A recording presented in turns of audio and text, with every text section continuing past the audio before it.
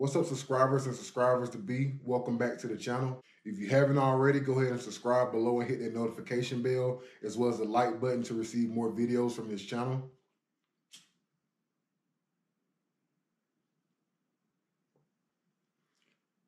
I know I've been missing the action a little bit for the last week. Um, I've been back in Georgia doing videos on my other channel, The Lord of the Range.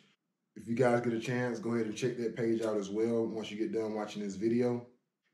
If you look on the board, you'll see some stocks that I'm currently interested in. I'm going to kind of explain these stocks and why I'm interested in them um, a little bit later on in the video. But before I jump into that, I want to get into some news that's currently going on when it comes to the stock market and the economy altogether. Before I even get into that, if y'all see me doing any type of coughing or anything during the video, it's not due to any sickness or illness. It's because I have this um, OG Kush from Diego Pellicer. I don't know if y'all can see that. Um, it's some real good stuff. So that might cause a little bit of um, bronchial irritations. So for starters, three days ago, um, the Feds decided to dump about $1.5 trillion into the market, being that the market kind of tanked due to the recent correction that's going on.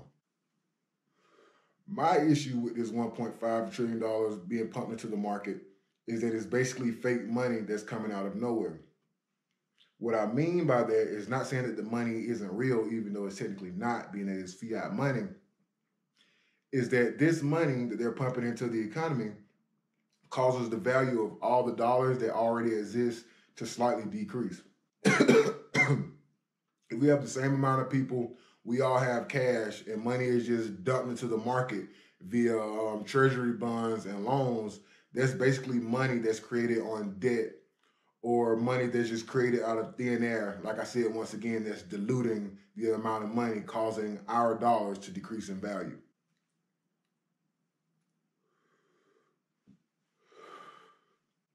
But things like this happen all the time, especially when you're dealing with fiat company.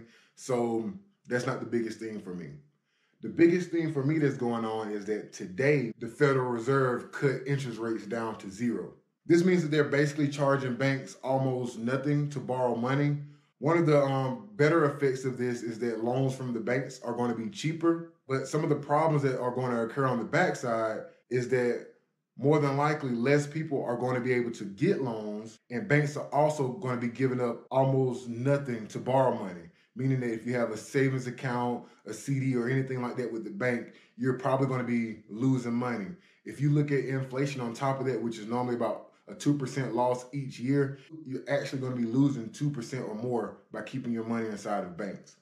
With interest rates going to zero, you're literally better off taking your cash and placing it in a vault at the bank versus putting it in a savings account currently because you're not getting any money for having it there. And banks have no reason to borrow from you when they can just go to the Federal Reserve and get a loan with a 0% interest rate. I mean, it kind of makes sense if you think about it. Banks really have no reason to pay you to save money with them Normally, they use the money in savings accounts to give loans, but with the Fed loaning out money at a 0% interest rate, they have no reason to pay you any money to borrow your money. The main reason that this is significant to me is because typically when interest rates drop by a lot or they go to zero, there's typically a recession to follow. If you look at the chart on the screen, you'll see some gray bands. Each one of those gray bands is when a recession hit. And if you notice, this happened almost every time the interest rate had a significant drop or went to zero. Excuse the wrinkles, but I was getting a little hot with that pullover on. But with all this stuff in mind, um, I really don't feel comfortable having too much cash on hand right now. Of course, it's good to have it to invest with when things are going down as they currently are. But um, cash is really going down in value right now. And I see that increasing in the near future and definitely if you're looking down the road. So with that being said, I'm currently looking to convert my money as always. And my first option right now is going to be stocks, being they're taking a hit. Um, as I just stated, I do believe that some stocks are going to get lower. There's a possible recession that is coming as you see the interest rates are going to zero, as I just mentioned as well. But yeah, these are the stocks that I'm looking at. If you saw my video on the top stocks for March, um, I'm still looking at purchasing those stocks. But these stocks right here have really sparked my interest. Um, I wrote them down um, as I was just going through my list of stocks that I typically look at, and I went back and numbered them in the order in which I kind of wanted to purchase them. I'm going to go through them in that order, and then I'm going to explain a few things about each of them. Okay, so the first is going to be Alibaba. Alibaba is currently at $193. Its PE ratio is sitting right around 20. Its 52 week high is 231. Its 52 week low is 147. I'm not going to go into deep about what the company does. I've done videos on that in the past, and I would definitely like to invite you to do your research.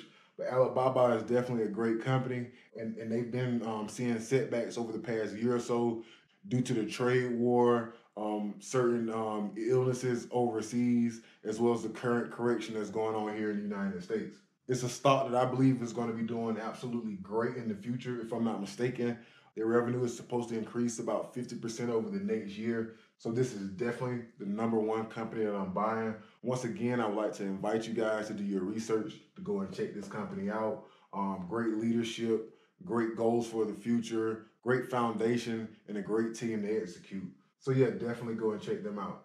The second stock that I'm looking at is Berkshire Hathaway, of course, owned by one of the geniuses in the market, Warren Buffett.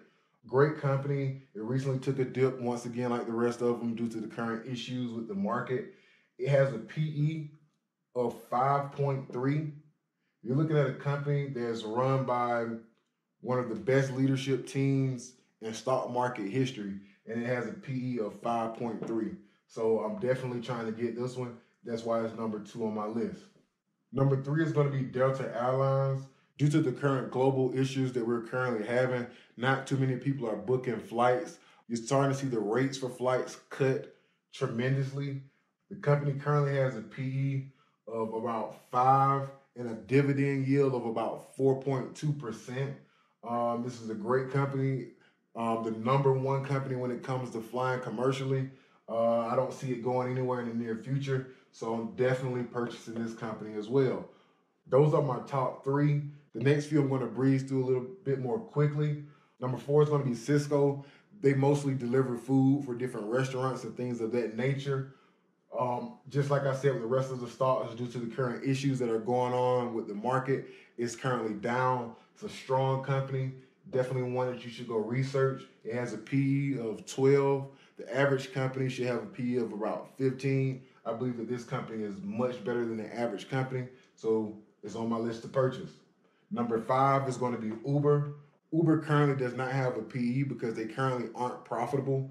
They um their company isn't expected to be profitable until sometime in later 2020 or possibly 2021.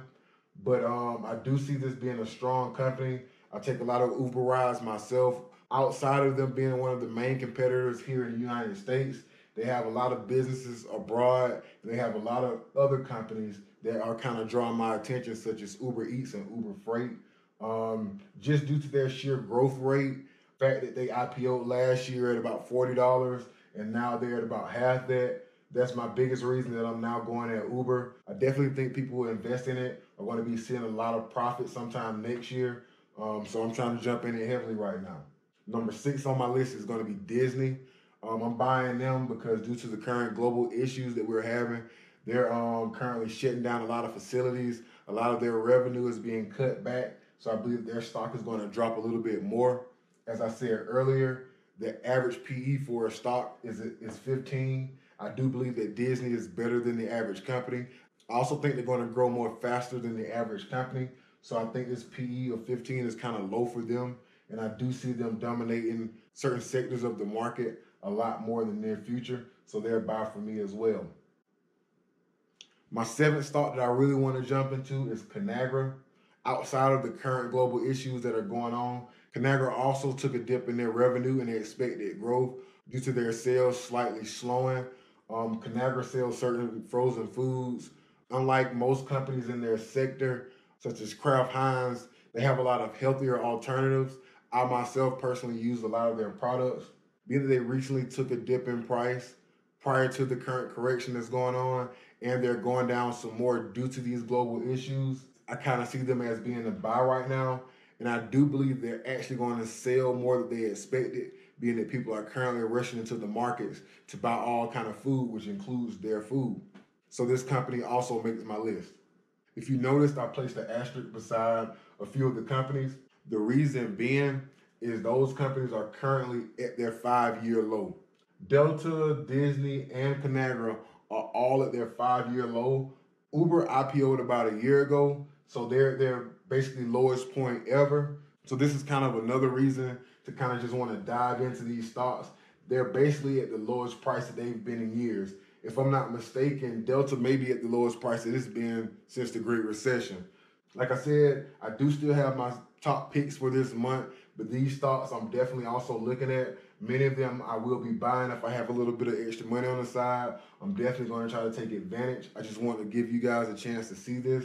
If the Fed's lowering rates and um, basically decreasing the value of money, as well as the current correction in the stock market scares you, there's still a few other options if you're looking to invest your money. In my opinion, the main two would be gold and real estate. When I say gold, for the most part, I'm talking about bullion, which is um, pure gold. You can purchase it from places like JM Bullion or APMEX if you're looking to shop online, or you can just go to your local coin store. If you're looking to get into real estate, I would really suggest renting. If you're looking at times where there's a possible recession or a recession going on, people still have to find a place to live. Many people still rent. Many people who once living in homes, I hate to say it, end up becoming renters. So it is a good market um, during that time for people who do own real estate and they're renting. With that being said, as always, thanks for watching the video. I hope you guys are taking advantage of the market. If you haven't already, make sure you subscribe, hit the like button and notification bells so that you can get notifications when I release new videos. If you're new to stocks and you're looking for a way to invest, there's a link in the description for the Robinhood app. If you download the app using my link, you'll get one free stock for signing up. Think of it as my gift to you for watching the full video with us today. And as always, um, thanks again for watching and have a great day.